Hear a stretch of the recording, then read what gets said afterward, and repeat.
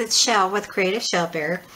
Uh, today we are going to attempt to finish the mini album. So let me show you what I've done so far.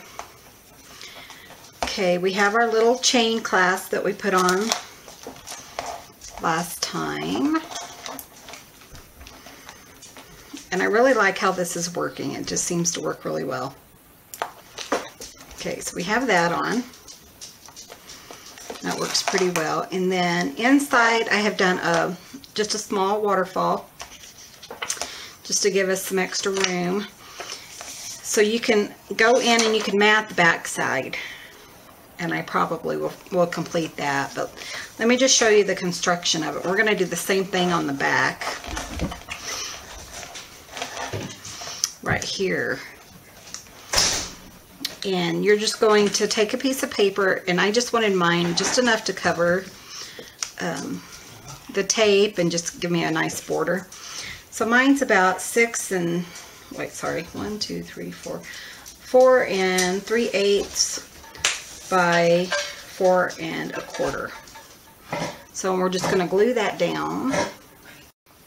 Okay, so I have my art glitter glue and I'm just going to cover this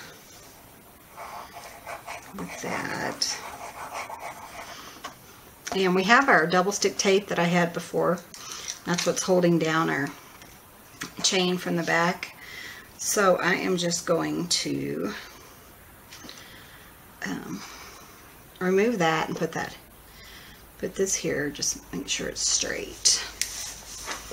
And then you won't really be able to, you know, tell that that's there. And it gives us another photo mat. Then you're going to cut two more pieces, the exact same size as this. And you're going to score them at a half inch and fold it over. And we're just going to put them at the top, right up here, just so that we have some more uh, opportunity for photos. Okay, so you just want to line this up really well. Make sure it's really straight. And then just press that down.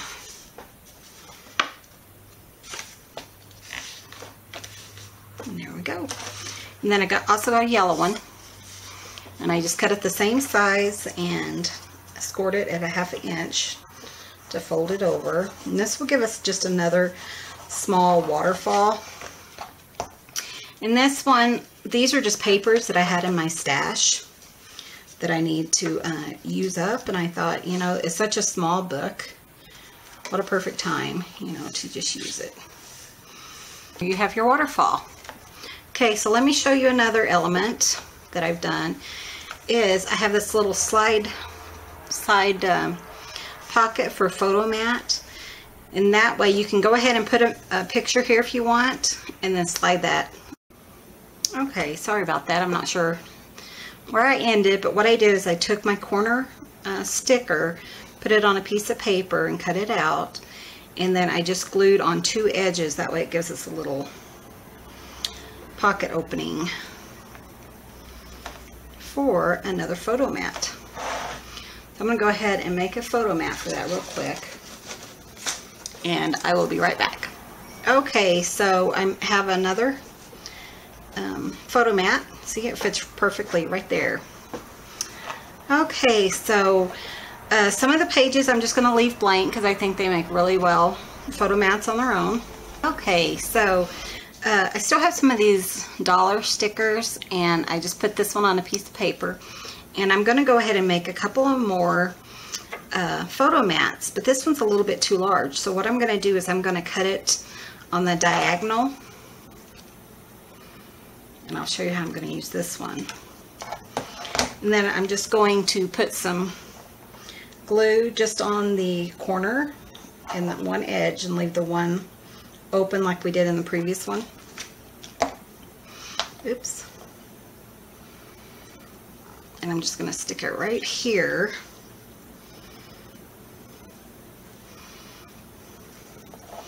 And then on the other one, I'm going to pop it on the top one. That way I can use some of the stickers and stuff that I already have.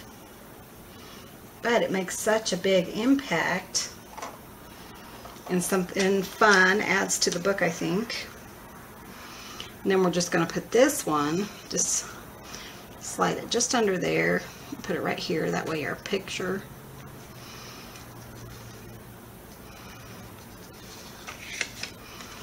there we go and then when that dries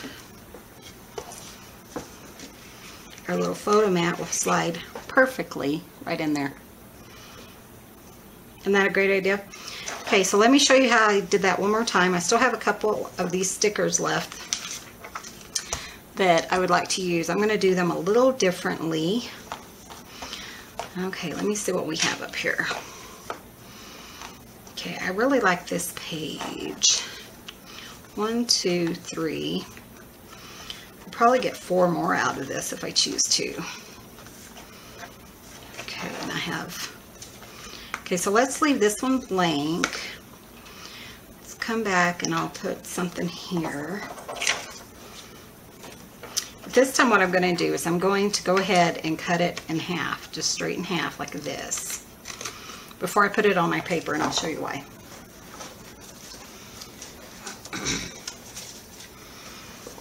just got some of my um, paper from the scrap paper. I'm just going to put it in here and then just we're going to cut a border all the way around it. Just a small border. And I wanted yellow to correspond with the um, with that paper. I just think that's really pretty.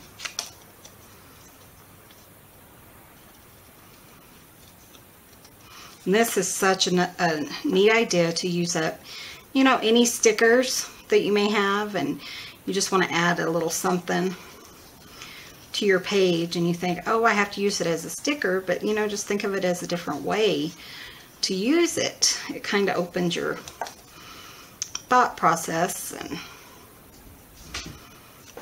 see that is so pretty. I love that. So you could either put it up here and then come back and put another one down here, which I think is what I'm going to do. But on this one, we're just going to put it on the edge right here. And then we're going to put it right up here on top. And then I'm going to do the other one.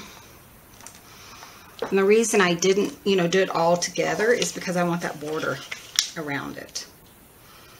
And then we're going to put glue again at the bottom and then we'll put it on the, actually I think I'm going to bring it up, the glue just a touch, give us some, a little bit more stability when I put them together. I'm just going to kind of, you know, estimate where it goes.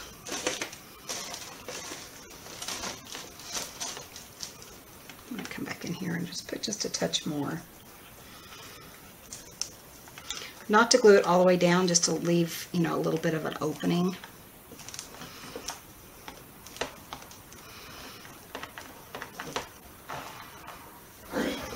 Okay, so I got those two glued down and then I made a little photo mat. So that just goes in like that and gives us a little bit more room. Perfect journaling spot or, you know, more photos. Okay, and I have one over here where the pocket's totally blank, and I wanted to go ahead and put something else over here. And I have one of the little doilies left. So I think what I'm going to do is, I think I'm just going to put it down here at this corner and then just leave a big opening. And I'll show you how I do that. It's real similar to all the rest of them, so it's not anything you haven't already seen. But Again, I'm just using some of my um, scraps over here. I think I'm going to go with the red.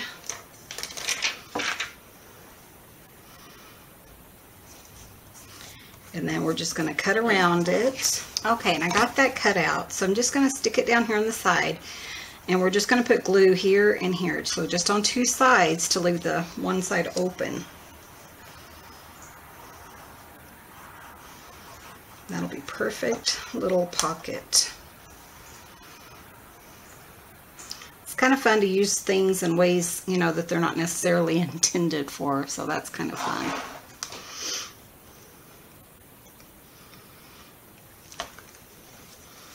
Okay, and then we're just going to put another little spot right there. I'm going to, I think I'm going to put that one, but I think I'm going to put it on pink. Just to kind of give it a little bit more dimension. So I'm just going to glue this down and cut it real quick. And um, all these mats are so different, so you know, I just do, you know, my own size. I can give you my measurements if you need them. But in this particular thing, it's just, I just need all different sizes of mats. So I'm just doing what works for me. So that's what you'll need to do. And then I'll just cut this down. And we have a perfect little mat. Isn't that cute? Okay, so let's look at it again. I'll show you from start to finish. I left this blank and I'll probably put a sentiment or um, just maybe just a picture there. Here's my um, first waterfall. And then what I did is I went back to my mats and I matted them on, on both sides with just some cute little polka dot paper. and then our little pockets. And then we used our little stickers right there and I think that is so cute. Okay I must say I really like that. Okay. Here's another blank spot for another picture and here's another sticker that we used as a corner and another one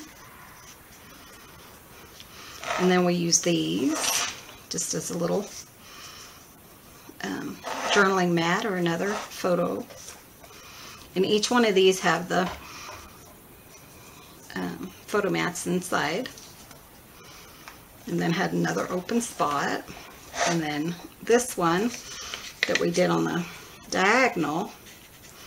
And I really like that one. I think that's really cute. Okay, and our last waterfall. So I'm going to get some stuff and we will con um, complete the decorating and I will show you how I'm going to com complete the front of the book. If I can get it to turn over here. And I'll be right back. Okay, so I went and I pulled a bunch of stuff from my stash and I'm going to work on the front cover first. Let me show you what I've already done on here. Of course I have my latch and then I put on little cornered uh, metal corner embellishments and I got these from uh, G's Metal Embellishment Emporium, and I'll put a link for you on that. And I got quite a quite a bit bit of what I'm using today. I got from him. And I want something on each of these chains just to kind of give it a little, um, you know, just so that they're not just plain old chains just sitting there. So I have this little leaf that I got, and I think I got this from Fire Mountain. Uh, so you're just going to twist and I got some jump rings so I just twisted that I don't know though that this will fit in there let me try this other one okay this one will work and I'm just gonna attach it and then just twist it back just something just to kind of dress it up so that it doesn't you know, isn't just a, just a plain chain.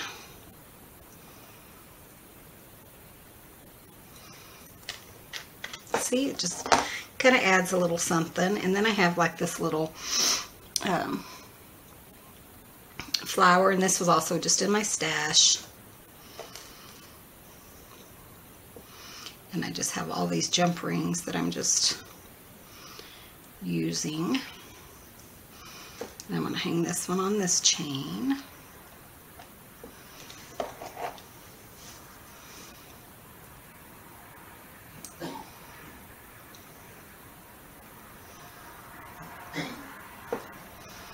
There we go. So, okay, we got the chains done. Just a little something, you know. I have a little tear right here that I really want to cover up. So I've been trying to, you know, figure out what I want to use to cover it up. I don't want it to be too big. I think I'm going with this little bumblebee. It's not too big. It will kind of cover it up and it kind of adds a little something to it. So kind of has a little texture on the back of it. So it's not really um, um, sitting flat. So it's really not adhering like it needs to. So I'll warm up my hot glue gun and go ahead and decorate around that. That way too, that will guarantee pretty much that that's going to stay put. Okay, and I have some ribbon. Just went through my stash. my stash is really huge. But it's dwindling. Time to buy more stuff. Just kidding. I said that for my husband's benefit.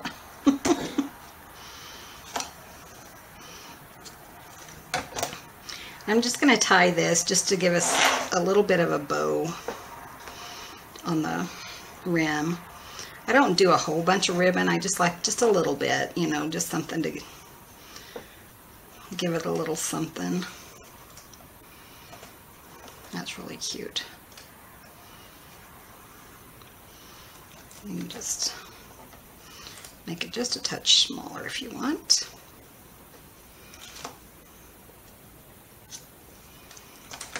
Isn't that cute? I like that.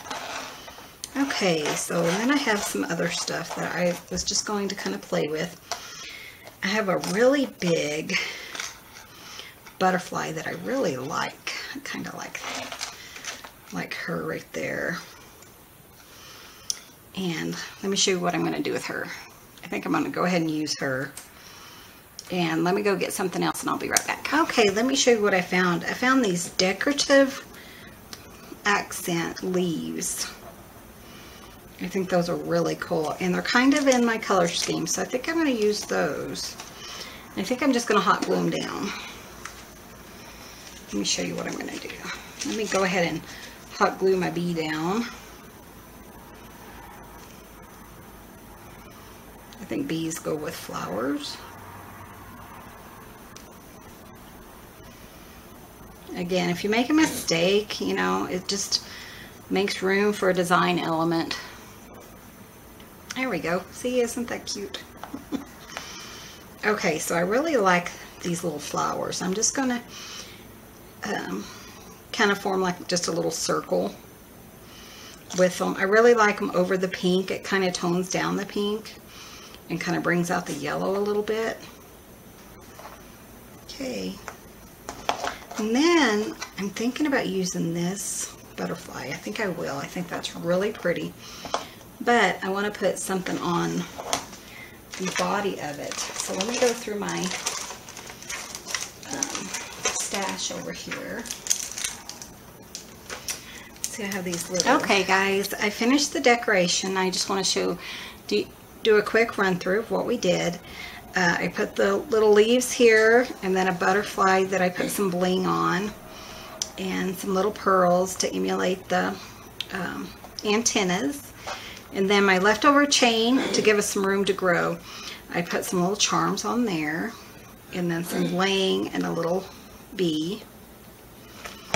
And then we're just going to open it up like this. Let me show you what's in here. Isn't that sweet? I love that. I got these butterflies from G's um, Metal Embellishment Emporium. And again, I will put the link to that at the bottom of the video. Isn't that adorable though? I love these butterflies and they're perfect with my um, all my flowers. See, I have another one over here. Isn't that sweet? And then I just had some bling coming down from the butterflies to show kind of like in the direction they were flying.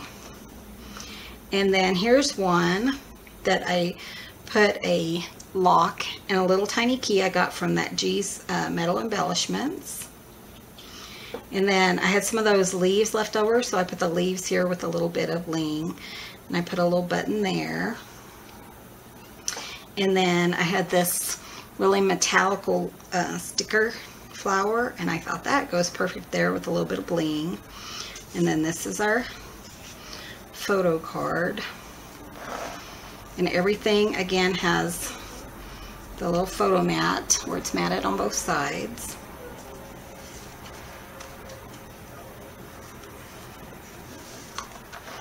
And then I had some frayed edges, so I just covered them up with some little silver flowers and another butterfly with some bling, another photo mat, and then I just kind of put just some little crystals all on this one, little pink ones, and some yellow ones on this one, and another flower. And on this one I put Inspire, just hung it from the cord that we have, and a little butterfly with some more crystals. And then I just kind of decorated this one up just a touch. Um, my fray was right here, so I kind of balanced it out and put another one here, so it looks like it, you know, I planned it that way. And then on this one, I just used the rest of those flower, or the rest of the leaves. And I just put a little bit, rest of the leaves, and a little bit of crystals on there. So I think it turned out really cute.